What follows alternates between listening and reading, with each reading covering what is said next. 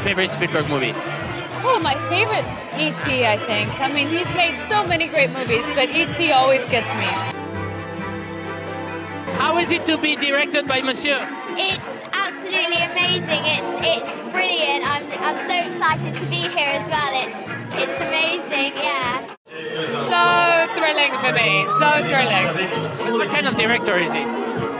You know, he's, he's, he's very precise. He has an exact image in his head of what he wants, and he knows how to make the magic happen, and he gets on with it. And he's, he's just brilliant at what he does. Bonjour, Monsieur. Bonjour, bonjour. How do you feel on the red carpet here tonight with this film? Uh, excited. That's very excited. Last time I was here, I did not have a film that I was showing.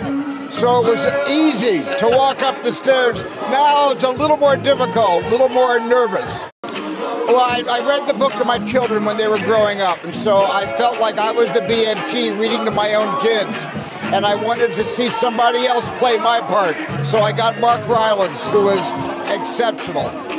I would like to make movies with Mark Rylance, Daniel Day-Lewis, and Tom Hanks for the rest of my life.